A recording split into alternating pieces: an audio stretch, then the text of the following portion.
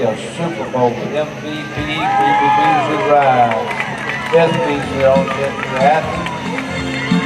BB Beasley on a Super Bowl MVP to the blue. Now let's take a look at our Blue Ribbon winner coming around the turn. A Super Bowl MVP. That's BB Beasley making the Blue Ribbon ride from Athens, Alabama. Give BB a nice round of applause as she comes down the South Rail.